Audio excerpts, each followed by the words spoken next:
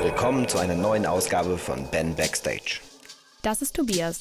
Für das Internet der Dinge und künstliche Intelligenz begeistert er sich schon seit einigen Jahren nicht nur beruflich, sondern auch privat. Oft stellt er sich die Frage, wohin wir uns als Gesellschaft entwickeln und unsere Wirtschaft sich durch die Vernetzung der Welt verändern wird. Daher ist er sehr froh, diesen hochspannenden Kompetenzbereich verantworten zu dürfen. Tobias war schon immer interessiert an digitalen Technologien und Veränderungen und hat während der Uni an digitalen Sprachdialogsystemen gearbeitet.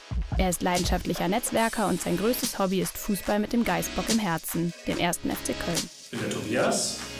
Bin beim ECO-Verband zuständig für die Kompetenzgruppe Internet of Things. Das heißt alles rund um Smart City, Smart Home, Industrial IoT, Mobility und alles, was eben mit dem Internet der Dinge zu tun hat.